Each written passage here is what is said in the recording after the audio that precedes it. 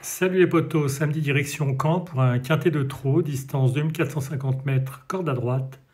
Et dans ma première sélection, j'ai placé en tête le 14 Klingem, une formalité dans la quatrième étape du GNT malgré 50 mètres de recul, peut une nouvelle fois s'imposer. Le 13 Étonnant, c'est le gagnant de l'édition 2021 et deuxième du prix de l'Atlantique, donc s'annonce dangereux. Le 7 Ampiamede SM, pas des plus heureuses dans le prix de Paris, quatrième, Niva recommande, peut aussi viser la victoire. Le 10, Rebel Amateurs, va retrouver un tracé à sa convenance, en grande forme, attention à elle.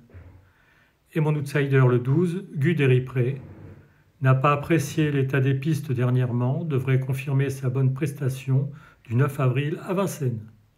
Je résume cette première sélection. Le 14, le 13, le 7, le 10 et l'outsider le 12. Deuxième sélection, j'ai placé en tête le 7 Ampiam et le 13 Étonnant, le 14 Clean le 11 Fakir de l'Euro et le 9 Elvis du Vallon.